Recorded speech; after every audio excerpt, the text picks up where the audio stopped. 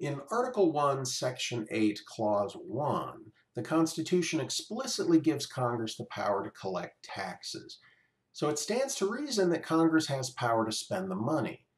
But where exactly does the Constitution say this? The words spend or spending don't appear anywhere in the text of the Constitution.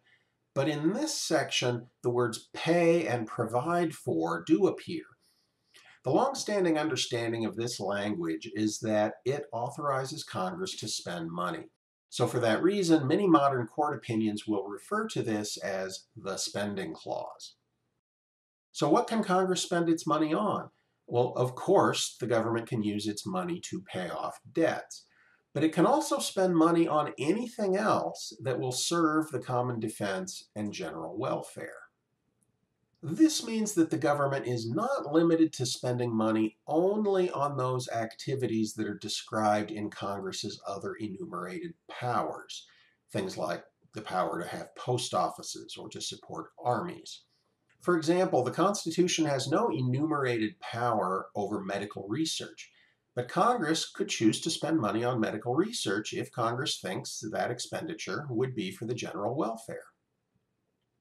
The spending power also explains why the federal government today has a significant role in education policy.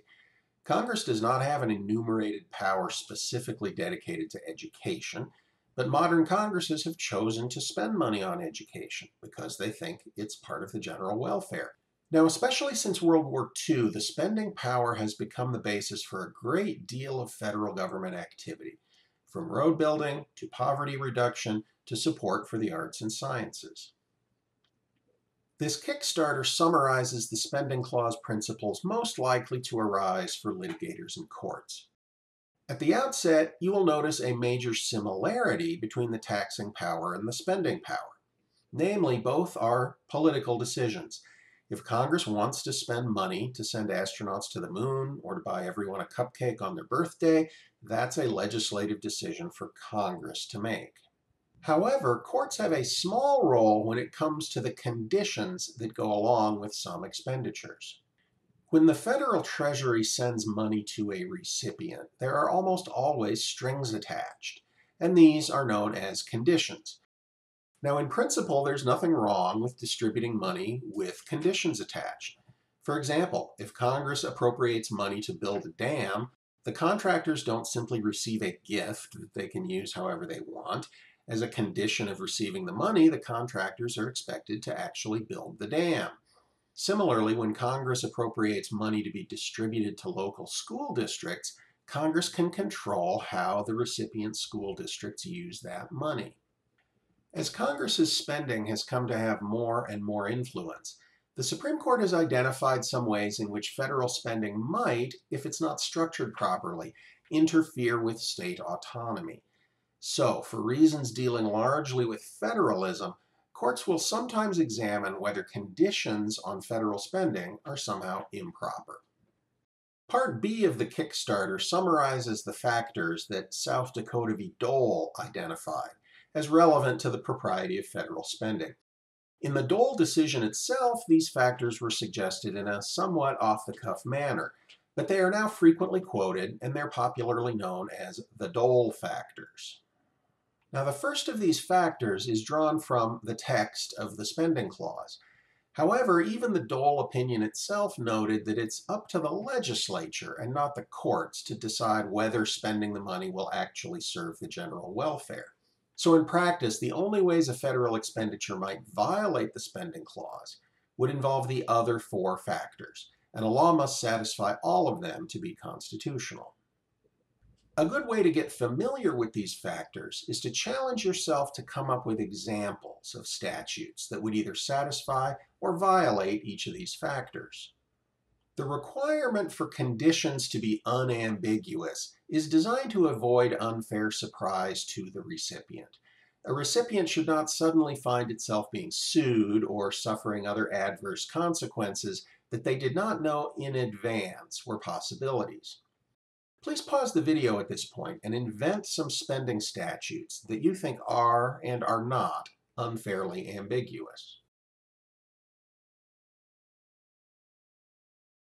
My own example of an unconstitutionally ambiguous spending condition is one that would require the recipient to use the money wisely. That's a term that's subject to debate and could be enforced in a way that imposes unfair surprises. Next, the condition has to have a sensible relationship to the purposes of the overall spending program. Please pause the video and invent some conditions on spending that are and are not germane to the underlying spending program.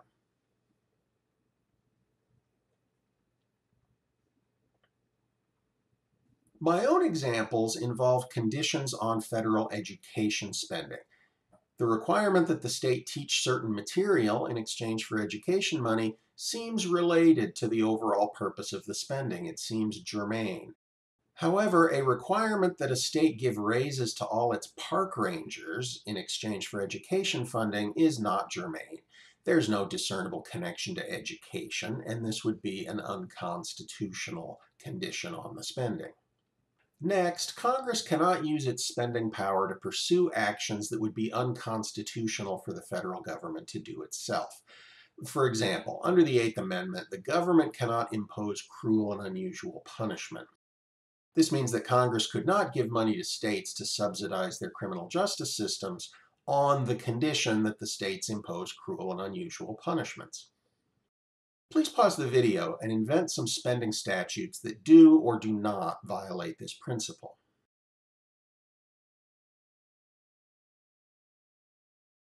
My example involves equal protection. The federal government cannot itself engage in sex discrimination. So it can't require recipients of federal funds to engage in sex discrimination either.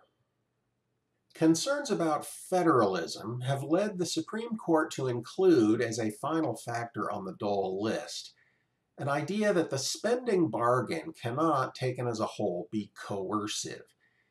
Now, this factor helps protect states' autonomy.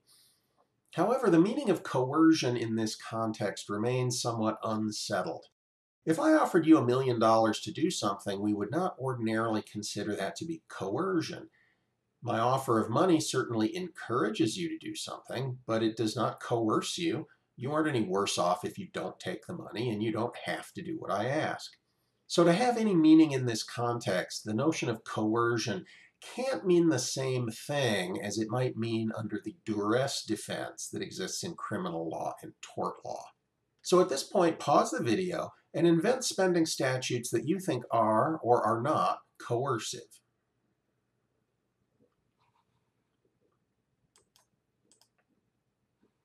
My example of non-coercive spending is a federal program to encourage state governments to train police about implicit bias. Most states would enjoy receiving an extra dollar for each thousand dollars they would otherwise spend on police training. But this subsidy amounts to only one one hundredth of a percent of their total police training budget. A state could easily afford to turn this down if it didn't want to do the implicit bias training, or if it didn't want to do the specific type of training required by the federal program. As for a spending law that is coercive, I'm purposely leaving that question open for now. You'll be reading some cases that touch on the coercion question, and I want you to have the experience of figuring out on your own what counts as coercion.